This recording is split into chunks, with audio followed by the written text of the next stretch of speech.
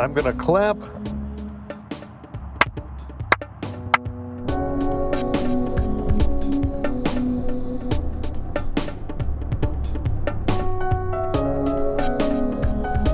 We were out three weeks on the road. A lot of things happened in three weeks.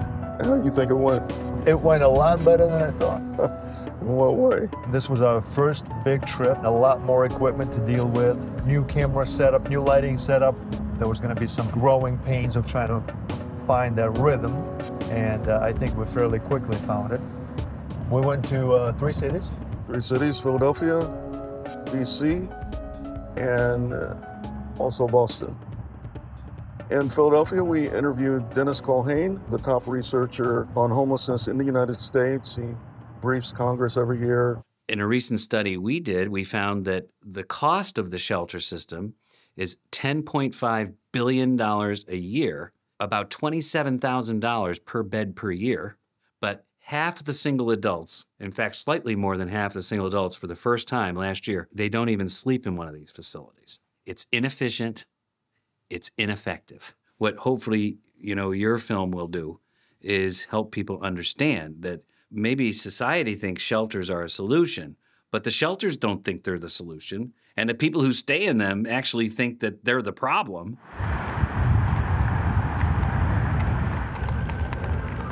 And in DC, we spoke with Antonia Fasanelli, the new executive director of the National Homelessness Law Center. Housing not only is the most effective solution to homelessness, it is the most cost effective solution to homelessness. Shelter was never supposed to be the ultimate solution to homelessness, and people were not supposed to have lived in shelters for long periods of time the way they do now. I actually think that we should not expect more from the shelters themselves. Let them just do that. But the key is there has to be some next step. There has to be a program that's helping people end their homelessness. And that's what is missing. One of my favorite people that we spent time with was, of course, uh, Tomas, the homeless veteran who has been homeless for a couple of years now, and he is about to get a place of his own.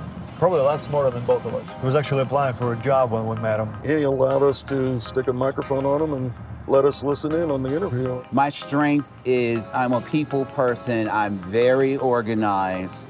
I'm detailed oriented. And I can see a problem from all angles. He killed that interview. He doesn't smoke, doesn't drink. You don't have anything? Nothing. I Okay. have high blood pressure or cholesterol. Just so you see me, you don't think I'm homeless. I get people that ask me for money every day. And I'm like, and I tell them, I'm like, hey, you know, I'm, I'm unemployed and homeless too. And they were like, really? I'm like, yeah. And then they say, you don't look it. He ran into some hard luck to become homeless, but the system conspired against him to keep him out there for a couple of years. I lost my social security card, birth certificate, almost my driver's license, my passport, because it was in a, like almost like a fanny pack thing, and someone I fell asleep and someone grabbed it. I kept getting offered jobs, but I couldn't take them because they wouldn't they wouldn't go without me having any of the documents. I just got the medical card literally a week ago, and I started in November. In November of last year? Mm-hmm. November of last year. A, a VA medical card? Yeah, yeah. Come to find out that there was a document that I needed to sign that no one ever gave me. There are so many intelligent people out here homeless, and it's not based on them not having a desire to to change their circumstance.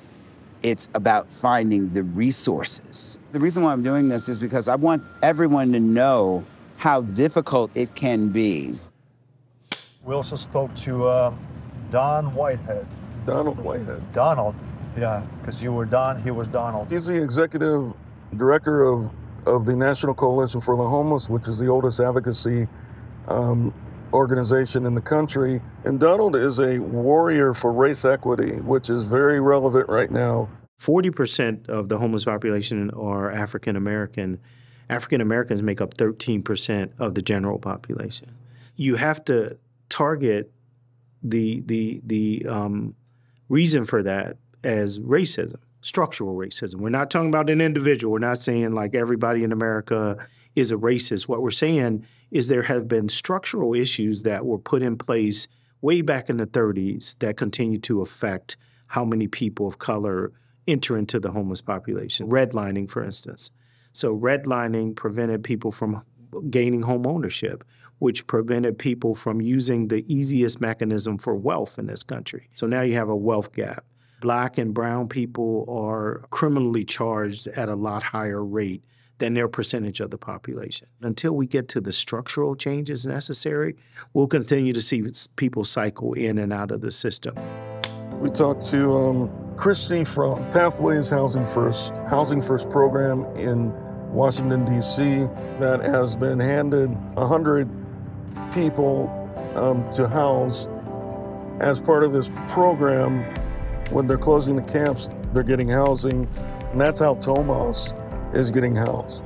The district recently decided to launch a pilot program in, uh, on the encampments to try something different, which was offering people housing who are living in encampments uh, before they close them. If they had a set date to close an encampment to provide really intensive outreach services, but also flexible housing dollars to move people who are choosing housing into apartments. We helped 29 people move into housing in less than six weeks. Decades and decades of homelessness ended in six weeks. We spoke with the Director of Human Services in Washington, D.C., who is responsible for helping to design and implement this program of housing people that are getting um, displaced by closing the camps. The values that our community has adopted in our, you know, I'm pointing over there because that's it. There, there's my, you know, Homeward DC 1.0, Homeward DC 2.0, and our other policy documents that guide, you know, that we came together as a community with all of those people at the table to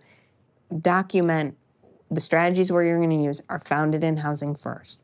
Look, when people are in housing, everyone benefits. Everyone benefits. The people who are walking down the street and are like, we're putting all this money in, into homeless services, why can I not walk down the sidewalk and I have to walk in the street? Why are people getting murdered under a bridge? And I'm so glad that you're doing this documentary. I encourage them to really listen to the voices of the people who are experiencing homelessness, who are not experiencing homelessness and in housing, um, to listen to them about their journey.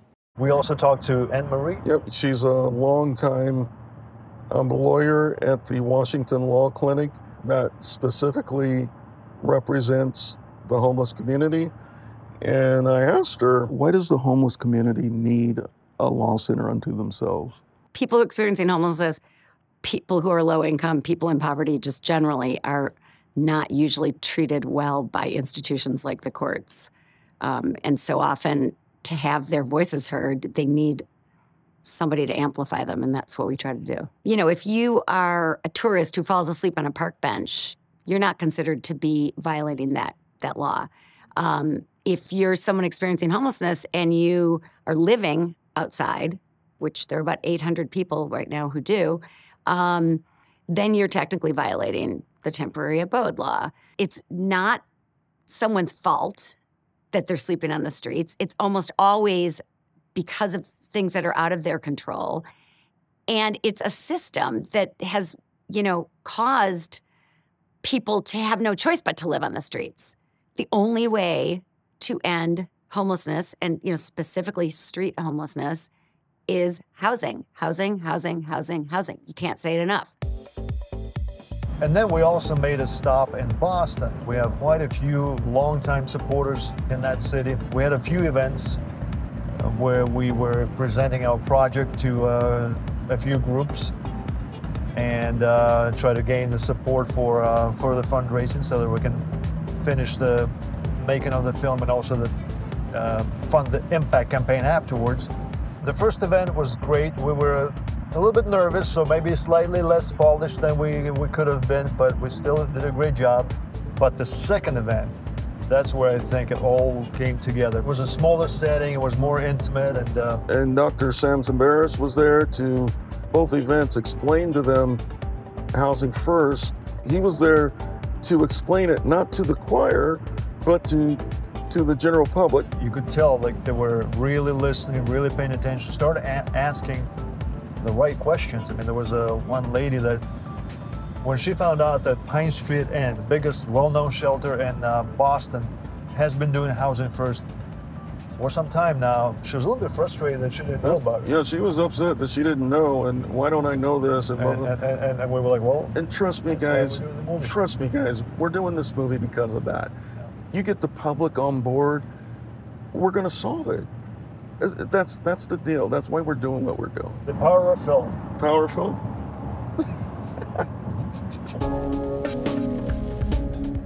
So great trip, and we want to thank everybody who helped make it possible.